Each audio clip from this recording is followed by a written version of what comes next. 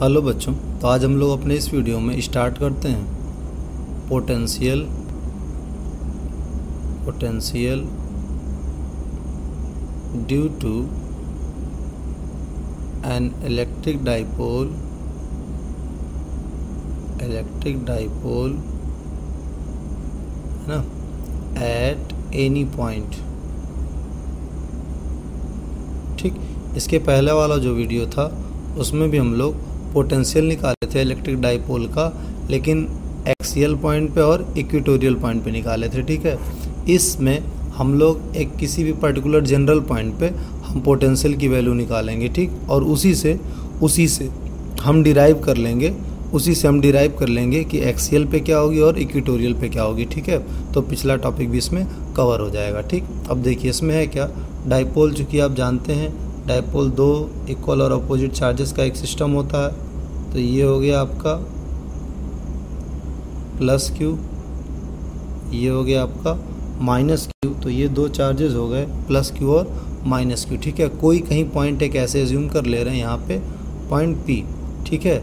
ये आपका डाइपोल का सेंटर आप जानते हैं, सारी डिस्टेंसेस हमें सेंटर से ही मेज़र करनी होती है तो हम एज्यूम कर रहे हैं कि जो डाइपोल है, ये जो डाइपोल है, ठीक है? इससे पी डिस्टेंस पे, इसके सेंटर से आर डिस्टेंस पे एक पॉइंट है पी आर डिस्टेंस पे एक पॉइंट है पी और इसी पॉइंट पी पे, इसी पॉइंट पी पे हम लोग इलेक्ट्रिक डाइपोल इलेक्ट्रिक पोटेंशियल की वैल्यू निकालेंगे, ठीक है? तो अब देखिए, दो चार्जेस हैं यहाँ पे माइनस क्यू और प्लस क्यू आप जानते हैं, अगर कोई चार्ज क्यू है और उसकी वजह से हमें आर डिस्टेंस पे इलेक्ट्रिक पोटेंशियल निकालनी हुई तो इसकी वैल्यू होती है v is equal to Q upon four pi epsilon naught R ठीक है? पॉजिटिव है तो पॉजिटिव निगेटिव है तो निगेटिव तो सेम इसी तरीके से देखिए, ये डाइपोल है, ये पूरी डिस्टेंस हम टू ए एज्यूम कर ले रहे हैं। ठीक? पूरी डिस्टेंस आप टू एज्यूम करेंगे तो ये भी ए हो जाएगा, ये भी ए हो जाएगा, ठीक है? अब देखिए, यहाँ से इस चार्ज से ये डिस्टेंस मैं एज्यूम कर ले रहा हूँ आर वन और ये डिस्टेंस मैं एज्यूम कर ले रहा हूँ आर टू ठीक है? तो चूँकि हमने आर वन और आर टू एज्यूम कर लिया है इसको तो ध्यान रहे पॉजिटिव चार्ज की वजह से जो इलेक्ट्रिक पोटेंशियल होगी, यानी इस वाले की वजह से, ठीक है? वो होगी v is equal to plus Q upon four pi epsilon naught R two और माइनस क्यू वाले की वजह से जो होगी, वो होगी v is equal to minus Q upon four pi epsilon naught R one ठीक है? तो प्लस क्यू वाले की वजह से ये होगी माइनस क्यू वाले की वजह से ये होगी। ये आपका आर टू और यहाँ पे आर वन क्यू और माइनस क्यू इसकी प्रॉब्लम नहीं है, ठीक है? हमें ये आर वन और आर टू निकालना पड़ेगा। यहाँ पे इस डेरिवेशन में बेटा, बस यही एक चीज़ है ही। आप आर वन और आर टू निकालना सीख लीजिए, ये डेरिवेशन बहुत ही ईजी है। ठीक है? उसके लिए आपको कुछ चीज़ें देखनी पड़ेंगी तो देखिए वो क्या है, ठीक है? मैं आपको बताऊँ, अगर ये दो लाइन है, ध्यान से देखिएगा, अगर ये दो लाइन है, ठीक है? ठीक, ये आपको कोई लाइन आर वन दी है, ये कोई लाइन आर दी है, ठीक? और और आप क्या करना चाह रहे हैं, ठीक है? आपने इस लाइन से इस पर एक परपेंडिकुलर ड्रॉ किया, ठीक? तो यहाँ से अगर हम इस पर परपेंडिकुलर ड्रॉ करते हैं, यहाँ से ऐसे परपेंडिकुलर ड्रॉ करते हैं ये 90 डिग्री पे। तो ये ध्यान रहे, आपने यहाँ से इस पर परपेंडिकुलर ड्रॉ कर दिया इसके इन पॉइंट से तो जब परपेंडिकुलर ड्रॉ कर दिया तो ये जो पार्ट है ना, ये पार्ट ये ये पार्ट भी आर ही होगा। ठीक है? जोमेट्रिकली ये भी क्या होता है? आर ही होता है, ठीक?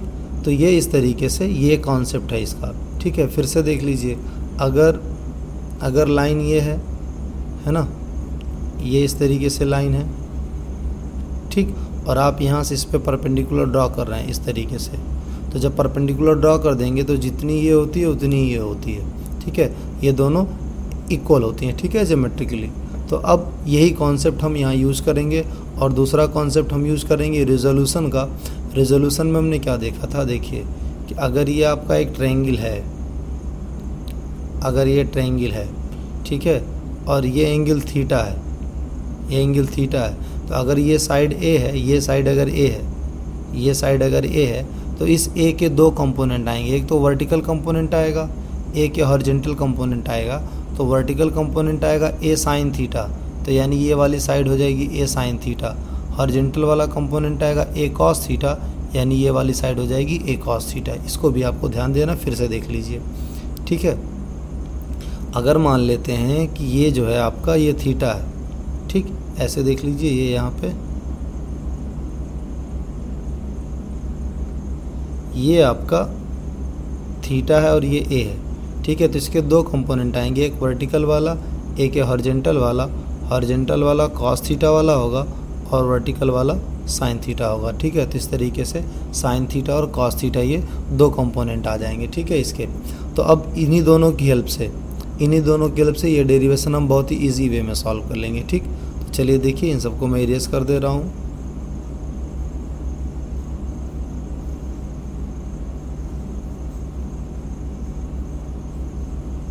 तो अब हम लोग क्या करेंगे, ठीक है? अब हम लोग यहाँ पे इस लाइन को, इस लाइन को मैं थोड़ा सा बढ़ाता हूँ। क्यों बढ़ाता हूँ? क्योंकि यहाँ से जब परपेंडिकुलर ड्रा करेंगे तो यहाँ कहीं आना चाहिए परपेंडिकुलर ठीक है?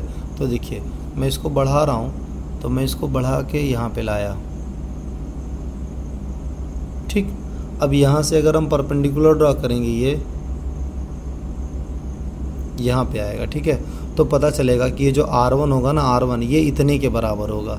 इसको हम मान ले रहे हैं O ये है, ये M मान ले रहे हैं। तो ये देखिए, ये आर वन जो है आर वन ये आर वन आपका ये पी एम के इक्वल होगा। आर वन पी एम के इक्वल होगा, यानी जो आर वन होगा, ये इक्वल होगा पी एम के। आर वन आपका पी एम के इक्वल होगा और पी एम किसके इक्वल होगा? ये पूरा पी एम किसके इक्वल होगा? देखिए O M plus O P O M plus O P ठीक है? सिमिलरली आर टू वाला देखिए, जब यहाँ से परपेंडिकुलर ड्रॉ करेंगे,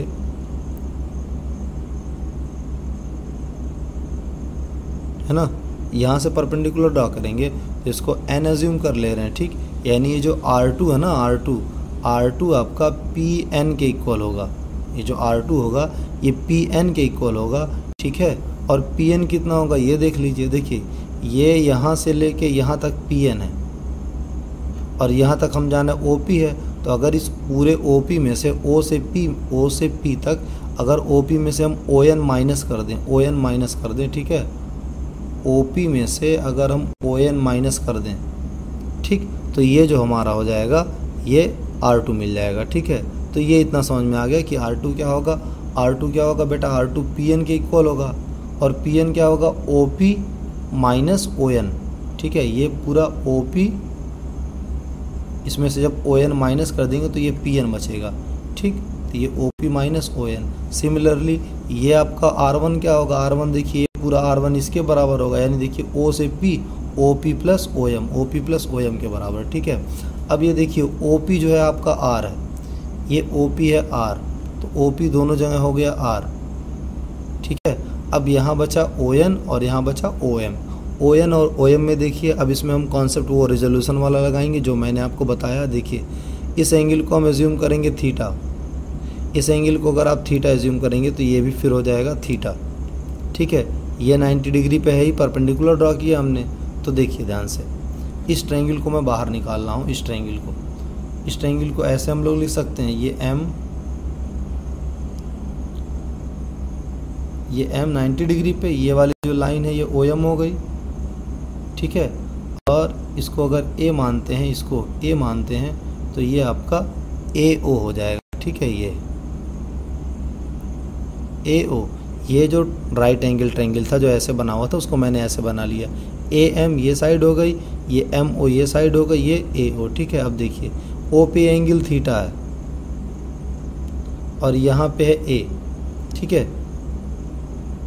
सॉरी ये जो आपका ओ ए ओ है ए ओ ये आपका ए है, ठीक? अब अगर ये ए है, ठीक है?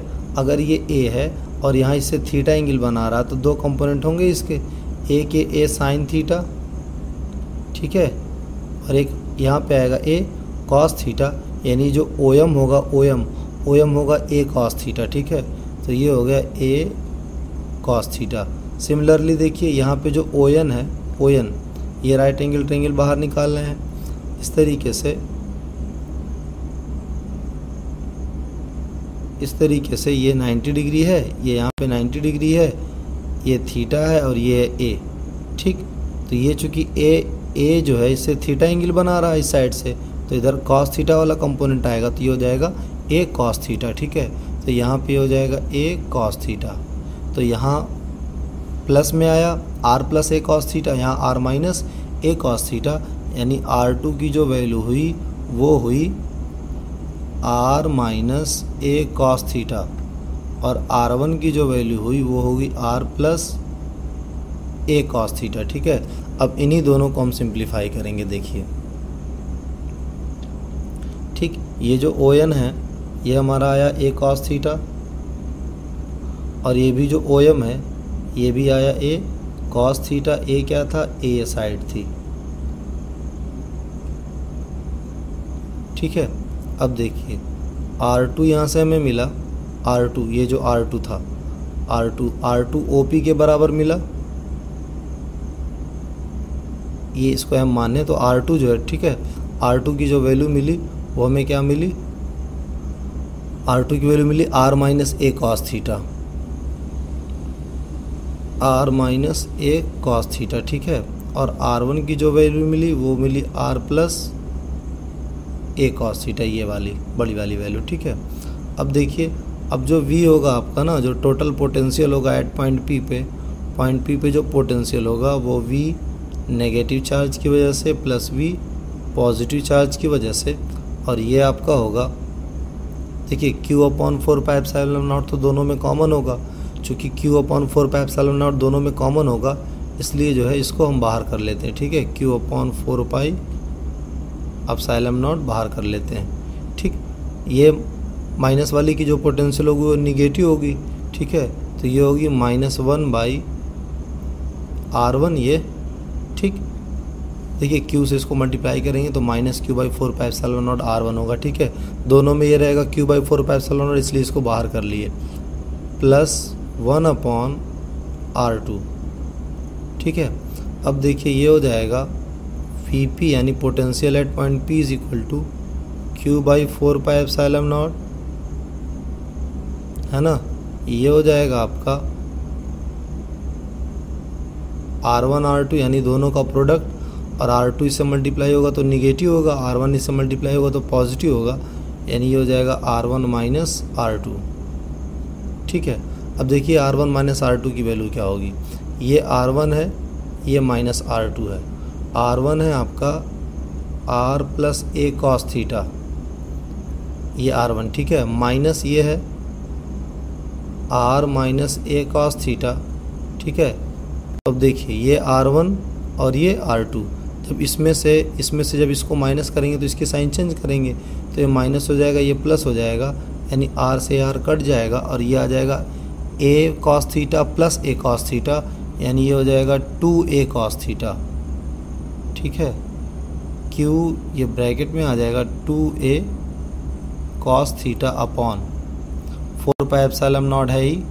अब r one into r two की वैल्यू क्या होगी? देखिए a minus b a plus b यानी a square minus b square तो ये हो जाएगी आर स्क्वायर माइनस इसका स्क्वायर करेंगे तो a square cos square theta ये इसकी डेरिवेशन है, इसको ऐसे लिख लेंगे.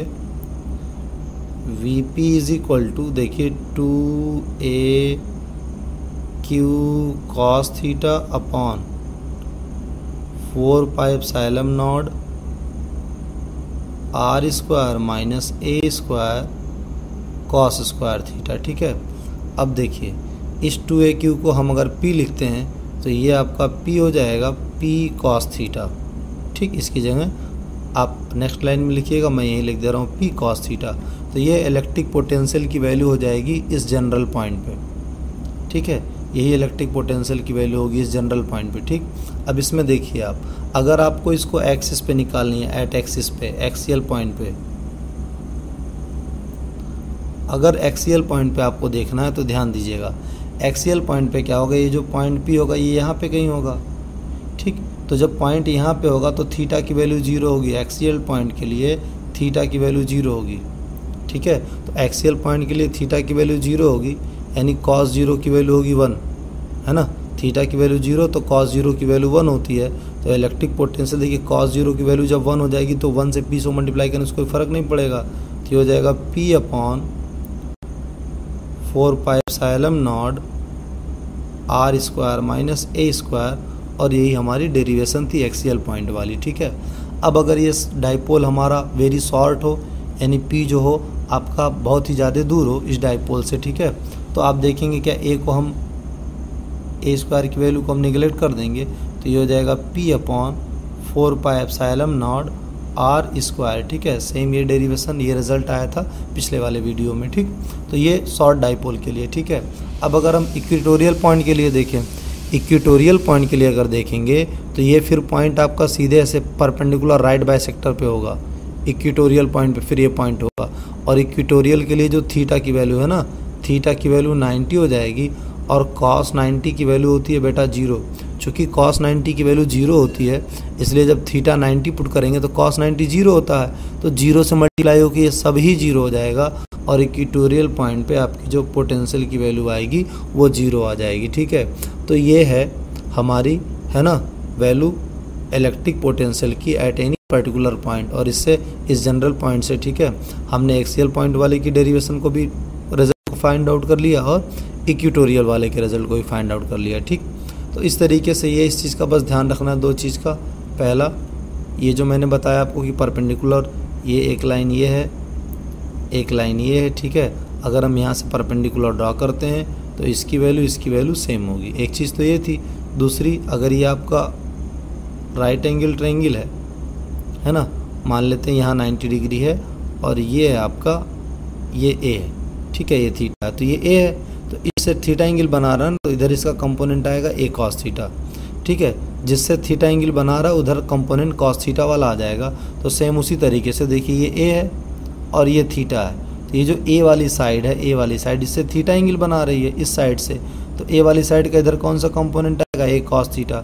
सिमिलरली ये देखिए, ये जो ए है, इससे थीटा एंगल बना रही है। ये जो ए है, ये इससे थीटा एंगल बना रही है। तो इधर कौन सा कंपोनेंट आ जाएगा इसका ए कॉस थीटा तो इसी वजह से r minus a cos theta हो जाता है और r plus a cos theta हो जाता है। वो इसलिए क्योंकि क्योंकि यहाँ पे जो एन पी है एन पी एन पी वो ओ पी से, पूरे ओ पी से ए कॉस थीटा कम होता है। तो इसलिए ए कॉस थीटा यहाँ माइनस हो जाता है। यहाँ ए कॉस थीटा इंक्रीज हो जाता है, ठीक है? तो इसलिए यहाँ a cos theta plus r हो जाता है, ठीक? तो आई होप ये वीडियो आपको बहुत ही अच्छा लगा होगा, ठीक है? आप डेरिवेशन को पॉज करके अपने मन से आप करते चले जाएँगे तो पूरा कॉन्सेप्ट आपको क्लियर हो जाएगा, ठीक है? और इसमें आपको बिल्कुल भी प्रॉब्लम नहीं होगी, ठीक? तो चलिए देखिए बेटा, अब हम लोग पढ़ते हैं relation between relation between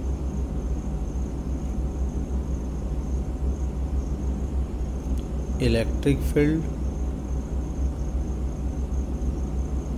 and potential relation between electric field and potential ठीक है? यानी इलेक्ट्रिक फ़ील्ड और इलेक्ट्रिक पोटेंशियल के बीच में रिलेशन ठीक है? तो अब देखिए यह है क्या। इसके लिए हम ज्यूम क्या करते हैं? बहुत छोटा सा पार्ट है है ना? कोई सोचने वाली बात नहीं है। ये आपका प्लस क्यू है। इसको यहाँ पे फिक्स कर दिया गया है, ठीक? और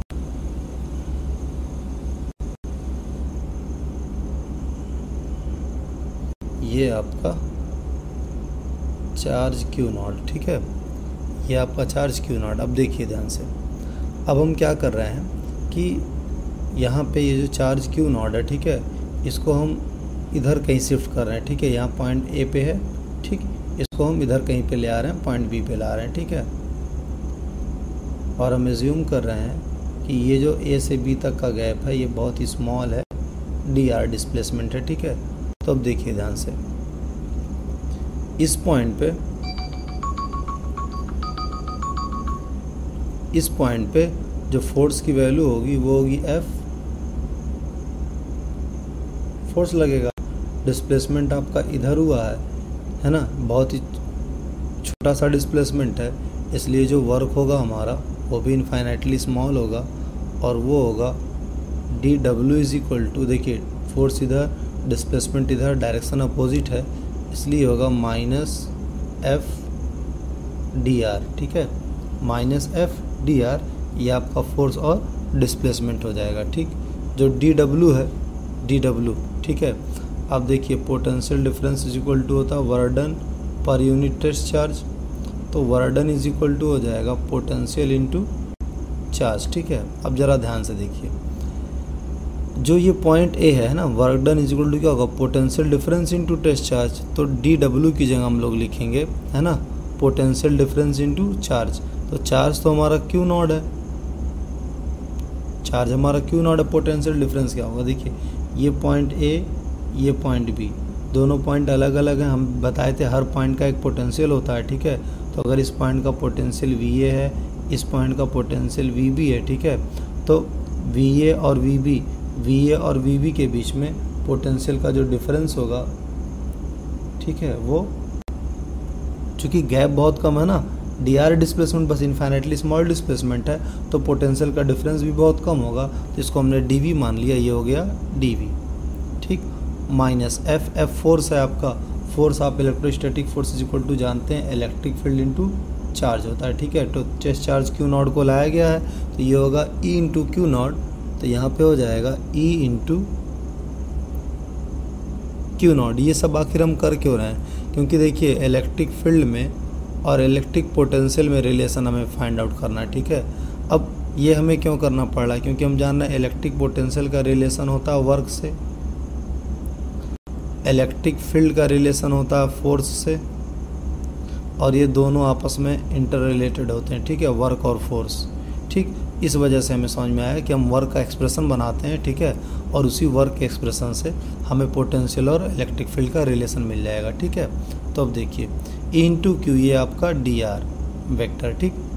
अब देखिए ध्यान से क्यू नॉट ये क्यू नॉट कट जाएगा। Q naught q naught cut जाएगा और ये हो जाएगा d v is equal to d v is equal to minus e d r यानी electric field is equal to हो जाएगा minus d v by d r ठीक है?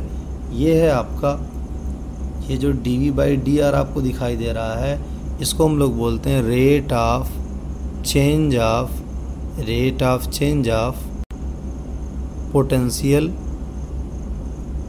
with respect to with respect to distance rate of change of potential with respect to distance ठीक है?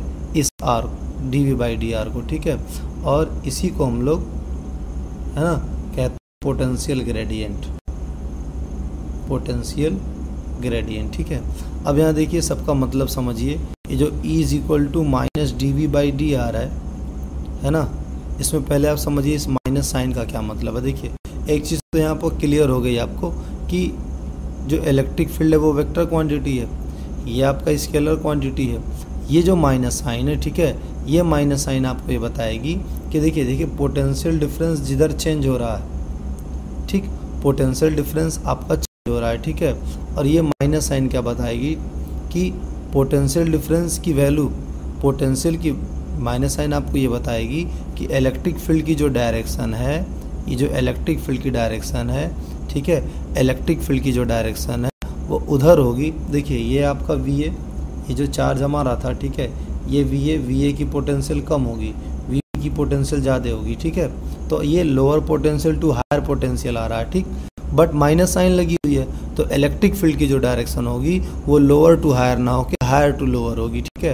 यानी electric field की direction उधर होगी, जिधर पोटेंशियल की जो वैल्यू होगी, वो डिक्रीज हो रही होगी तो ये माइनस साइन से हमें पता चलता है कि इसकी वैल्यू उधर होगी, जिधर पोटेंशियल की वैल्यू जो होगी आपकी, वो डिक्रीज होगी, ठीक है?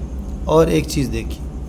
अब ये तो हो गया कि E is equal to minus d v by d r ठीक है?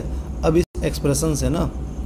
इसी एक्सप्रेशन से जो E is equal to minus d v by d r है, इस एक्सप्रेशन से हम इसको इस तरीके से लिख सकते हैं वेक्टर फॉर्म में इस तरीके से लिख सकते हैं कि electric field e vector is equal to minus d v vector upon d r vector ठीक है? वेक्टर फॉर्म में, ठीक?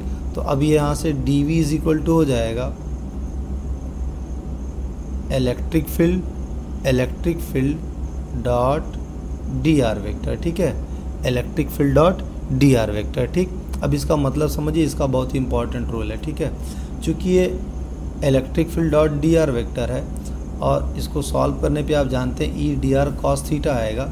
E d r cos theta आएगा और कॉस थीटा ये जो होता है ना, इसकी वैल्यू ज़ीरो पे तो वन होती है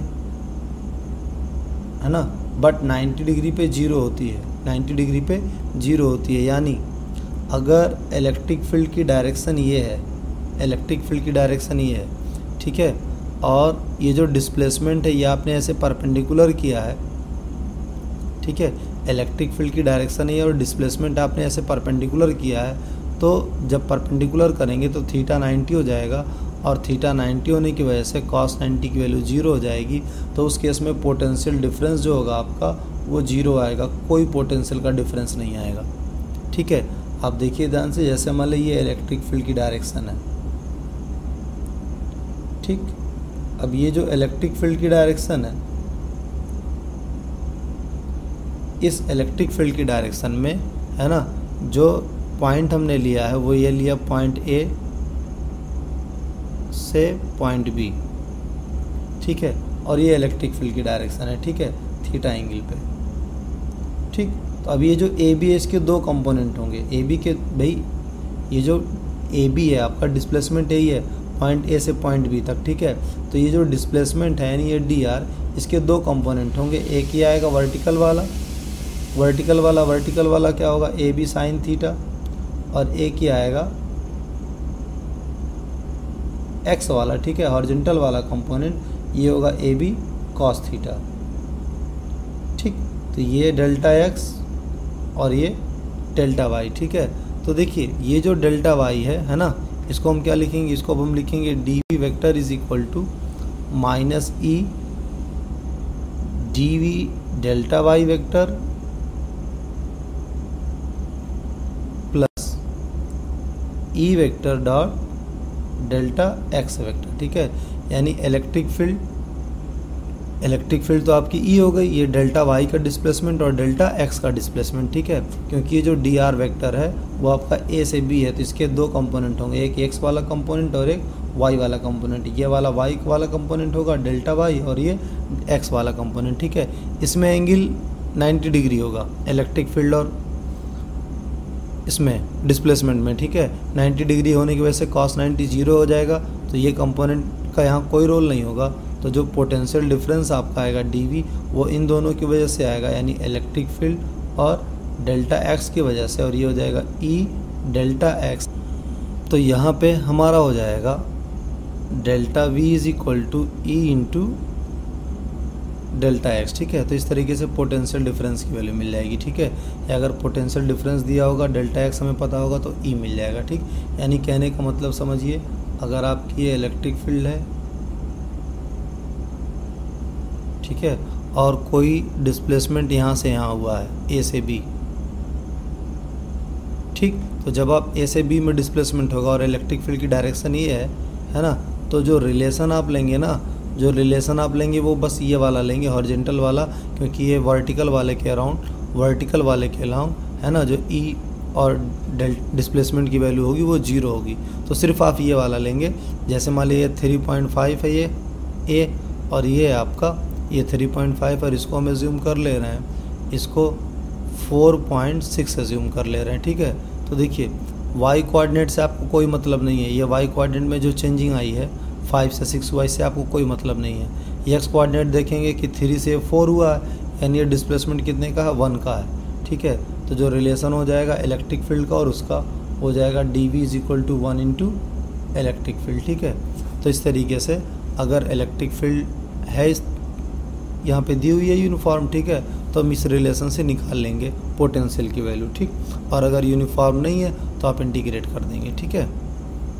हाँ अगर यूनिफॉर्म नहीं है तो हम इस तरीके से electric field is equal to ये जो d v by d r है, ठीक है?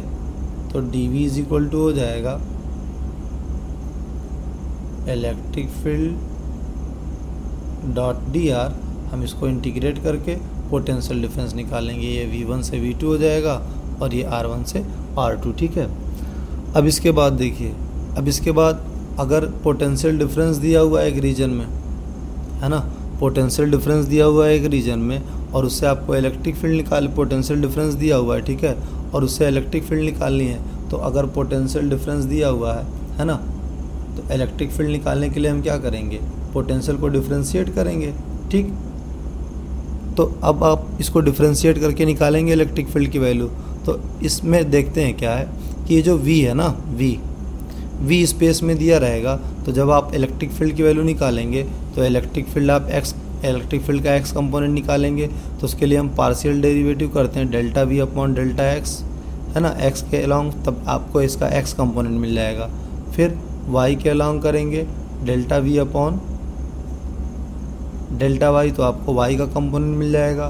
फिर जेड के अलॉन्ग करेंगे delta v upon delta z फिर आपको जेड वाला कंपोनेंट मिल जाएगा, ठीक है? तब जाके आपको इलेक्ट्रिक फ़ील्ड वेक्टर मिलेगा। E x i plus e y j plus e z के इस तरीके से इलेक्ट्रिक फ़ील्ड वेक्टर फॉर्म में मिल जाएगी, ठीक है?